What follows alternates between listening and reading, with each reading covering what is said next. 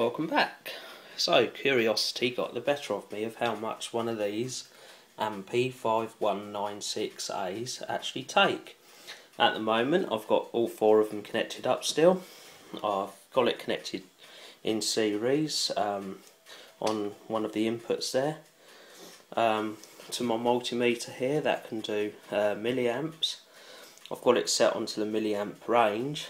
Um, and as you can see, with all four of them going together, it's about 135 uh, milliamps altogether there. Um, and that's for all four of them. So divide that by four, that's around 30, uh, 34 milliamps, something like that. So 34 milliamps per meter here. So I thought it was just an interesting little experiment. Um, just something that uh, out of interest really.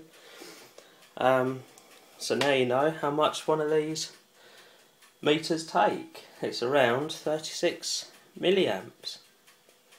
Thanks for watching.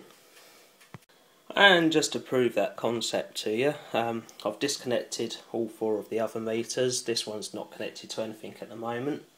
We're still on the milliamp range, and here we have it. It's 33.5 milliamps on the meter here.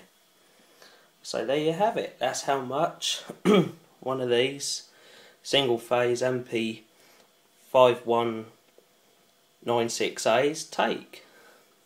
Thanks for watching.